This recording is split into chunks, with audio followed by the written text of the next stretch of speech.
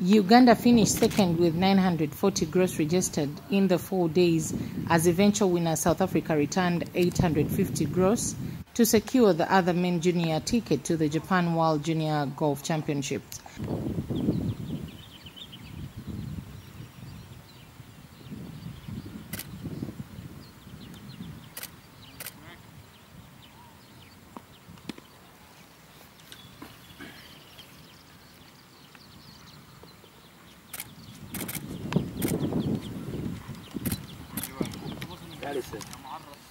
Uganda women junior team finished fourth beneath winners South Africa, Zimbabwe and Kenya.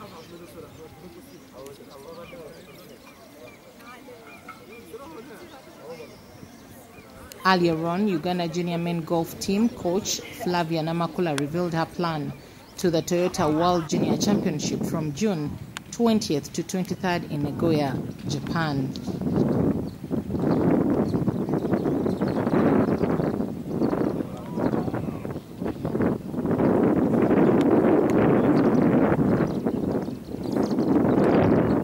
Uh, when I spoke to them yesterday after the game, they were positive. Yeah, I was so tough on them.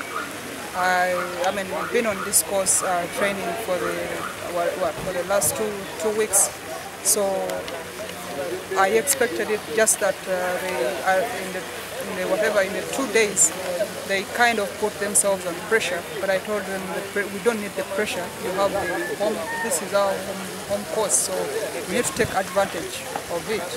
And uh, yeah, I mean, I, I just I told them to to calm down, play their game, play their normal game. Yeah, and that's what made us uh, take the second position. Are they pictures? A video. Are they video? Yeah.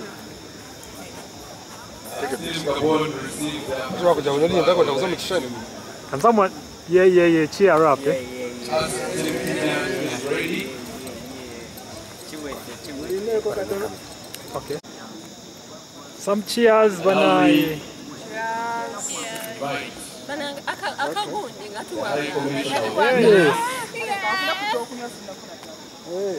Mwage mwangu.